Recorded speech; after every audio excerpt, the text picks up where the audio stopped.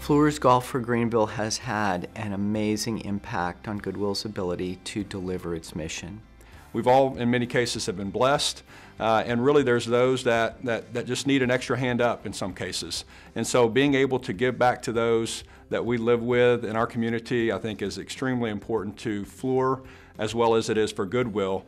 Fluor Golf for Greenville is an employee-led uh, initiative started in 1989.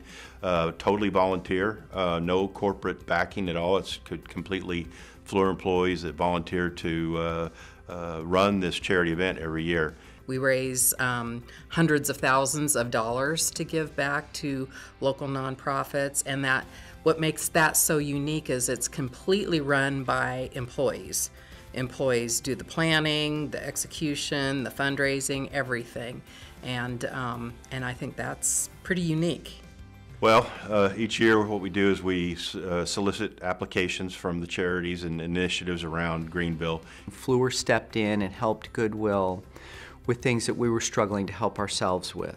And they provided funding in one case for a new job training center at, a at one of our store locations, in another case for uh, home pickup vehicles that created jobs within the Goodwill movement and also provided funding for um, our mission services, and then most recently have assisted us in buying and upfitting a youth and family service center in West Greenville.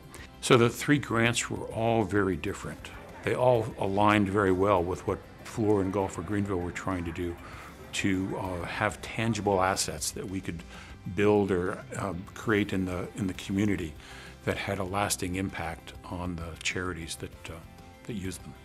We know when Fluor funds something, they don't sort of fund it partially. They take care of that need. And that by taking care of that need, they don't get us 70% there and we look for the other 30. They get us 100% there and then we start serving people.